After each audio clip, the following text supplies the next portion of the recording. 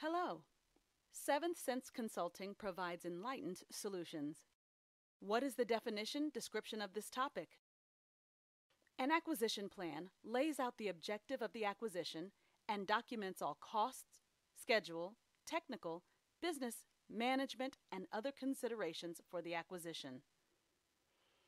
An acquisition plan provides an overview of the planning discussions and identifies milestones at which decisions should be made. An acquisition plan should integrate the results of the requirement definition and acquisition planning efforts, including market research, cost estimating, IGCE development, small business review, and management approval. Contractor Performance Intelligence Seventh Sense Consulting is launching our Contractor Performance Intelligence product to help agencies manage your contracts from post award to closeout. To request a demo of Contractor Performance Intelligence, send an email to demo at seventhsenseconsulting.com or go to our products page on www.seventhsenseconsulting.com.